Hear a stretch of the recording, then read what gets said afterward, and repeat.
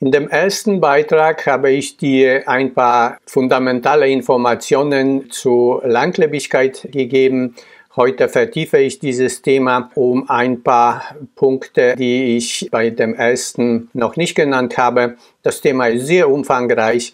Auch nach dem heutigen Beitrag ist das keineswegs ausgeschöpft. Und zum Schluss werde ich dir nicht nur die Hinweise geben, wie du mit den Ergebnissen der Wissenschaft umgehen kannst, ich werde dir auch Hinweise geben, wie du das praktisch umsetzen kannst.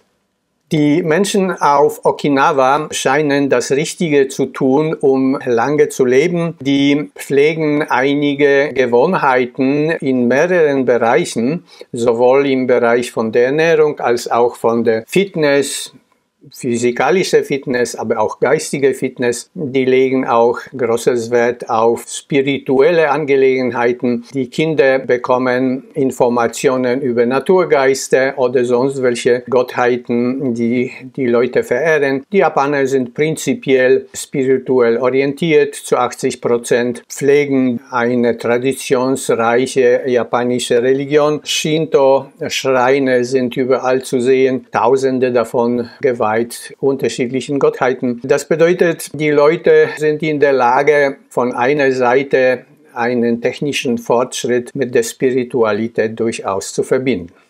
Sie pflegen eine positive Lebenseinstellung. Sie treffen sich gerne zu unterschiedlichen Anlässen, pflegen Gewohnheiten, die Jahrhunderte oder Tausende von Jahren bereits alt sind. Die spielen zusammen, die tanzen zusammen, die unterstützen sich gegenseitig. Die sind prinzipiell positiv eingestellt. Also diese geistige Komponente, das haben auch die westlichen Wissenschaftler schon bestätigt, dass eine positive Lebenseinstellung auf jeden Fall sich auch positiv auf die Lebenslänge auswirkt. Die lassen sich nicht stressen. Die sagen, okay, das, was ich heute nicht gemacht habe, mache ich morgen. Das bedeutet nicht, dass sie sich weigern, irgendetwas zu tun, dass sie faul sind. Nein, ganz im Gegenteil. Die sind sehr aktiv. Und die sind sehr aktiv auch im hohen Alter die gehen davon aus, wenn ich irgendetwas immer wieder gemacht habe, dann mache ich das auch weiter, auch wenn ich 95 bin. Das ist eine Einstellung, die in dem Westen ein bisschen anders gepflegt wird. Wir leben in dem Westen sehr viel unter Stresssituationen und gehen davon aus, okay, wenn ich in die Rente gehe, dann kann ich endlich abschalten, da kann ich endlich mich in Ruhe setzen und nichts tun. Dieses Nichtstun ist nicht besonders gut. Für eine Langlebigkeit, hat man eben auf der Okinawa gesehen die sehen diese Umwelt auch eben in spirituellen Augen. Die pflegen die Pflanzen mit einer bestimmten geistigen Einstellung und die wollen diese Pflanzen selber pflegen. Die gehen davon aus, dass sie in der Natur, in der Symbiose leben und das wirkt sich auch sowohl positiv auf die Pflanzen aus als auch auf die Menschen selber. Natürlich gibt es die Frage, gibt es einen Sinn, den eigenen Garten zu pflegen? Wenn du zum Beispiel ein Haus hast und ein bisschen Grundstück um das Haus herum, wäre theoretisch möglich, dass du dort ein paar Beete einrichtest und selbst dein Gemüse züchtest. Aber ob das Sinn ergibt oder nicht, diese Entscheidung triffst du selber. Wenn du sagst, okay, ich fahre lieber zum Supermarkt, kaufe dort die Sachen ein, dann musst du gleichzeitig akzeptieren, dass die Sachen, obwohl vielleicht Bio draufsteht, nicht ganz Bio sind. Bioverordnung ist löchrig und garantiert keineswegs, dass du dort keine giftige Substanzen drin hast. Die lassen sich auf eine Fläche nicht beschränken. Die fliegen durch die Luft, die kommen mit dem Wasser runter oder sonst wie. Das bedeutet nur dann, wenn du selbst das Ganze einbaust, weißt du, was du gemacht hast. Gleichzeitig bewegst du dich. Die Menschen bewegen sich auch gerne, also die sorgen für körperliche Fitness schon dadurch, dass sie zum Beispiel viel in dem Garten arbeiten. Das ist also eine Sache, wo man sagen kann, da treffen die Japaner die mehrere Fliegen mit einer Klappe. Jetzt komme ich zu der Ernährung.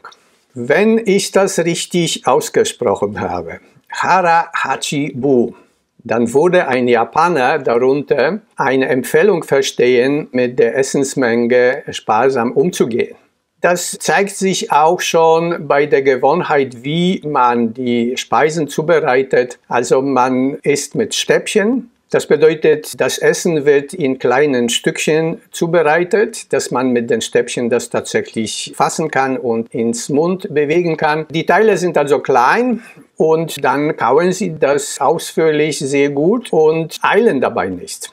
Die Ruhe wirkt sich hier natürlich positiv aus. Es ist zu bedenken, dass dein Mund die erste Instanz bei deiner Verdauung ist. Das bedeutet, wenn du das überspringst, wenn du die Speisen, die du zu dir nimmst, dort nicht richtig zerkaust, bis sie flüssig sind und gut mit Speichel vermischt hast, dann hast du einen Verdauungsprozess übersprungen. Dann kann das später nicht mehr nachgeholt werden. Und wenn du hastig isst, dann bekommst du ziemlich spät das Gefühl, dass du ausreichend viel gegessen hast. Dieser Spruch Hara Hachibu bedeutet, dass die Japaner die Menge an Essen bis auf ca. 80 Prozent des möglichen Magenvolumens fühlen und weiter gehen sie nicht. Hier ein Hinweis für dich. Dein Magen ist faustgroß. Schaue bitte, was du auf deinem Teller hast. Passt das dort rein? Oder hast du eventuell zu viel genommen? Das sind also anscheinend Kleinigkeiten, die aber hier eine entscheidende Rolle zu spielen scheinen. Diese Langlebigkeit, da habe ich dir schon in dem ersten Teil gesagt, es gibt kein Gen, der für diese Longevity zuständig ist. Nein, das ist eine Summe von vielen, vielen Faktoren, die zusammen diese Ergebnisse ergeben. Auf die Lebensweise der Menschen auf Okinawa bin ich aufmerksam geworden beim Lesen eines sehr interessanten Buches von Dr. Michael Nels, und zwar Alzheimer ist heilbar. Dr. Nels hat inzwischen sehr viele Bücher zur Demenz geschrieben. Dort analysiert er ganz genau die Ursachen davon und er sagt, von deiner Lebensweise ist das abhängig. Und er zeigt eine Abhängigkeit. Er sagt, das sind zwei Enden von dem gleichen Stock. Entweder sorgst du nicht für eine langlebige Lebensweise und dann bekommst du Demenz, oder du sorgst dafür, dass du diese Demenz nicht bekommst und dann hast du die große Chance, auch lange zu leben. Die Bücher von Dr. Nels würde ich dir empfehlen. Dort findest du sehr, sehr viele Hinweise darauf, woher das kommt und vor allem, was du dagegen machen kannst.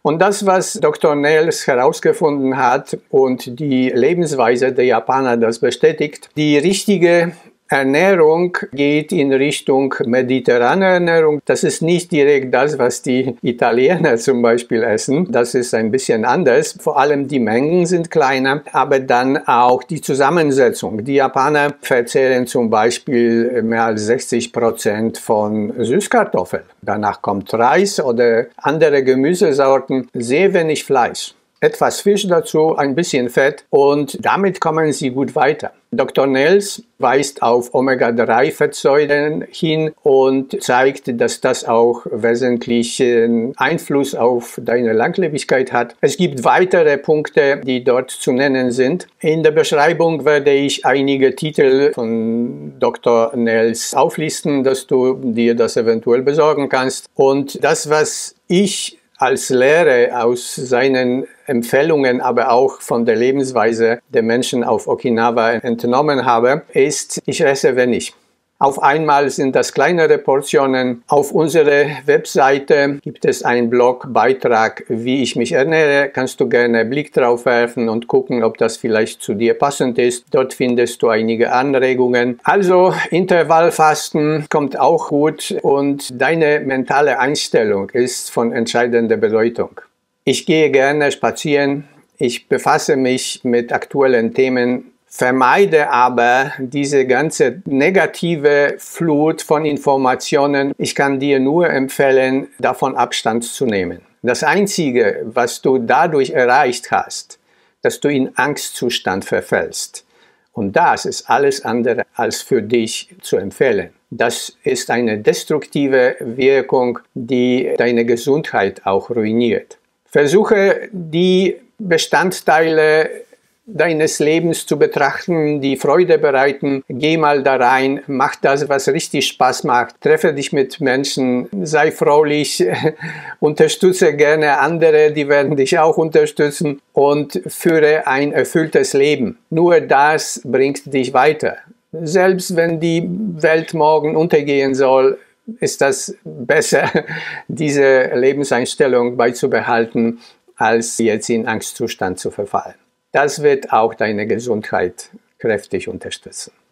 Falls du Fragen hast, kannst du gerne in den Kommentaren schreiben. Falls du vielleicht Wünsche hättest, was ich bei meinen künftigen Videos als Themen besprechen kann oder soll, schreibe ebenfalls. Und falls du Interesse hättest an meiner Unterstützung, kannst du mich gerne auch kontaktieren.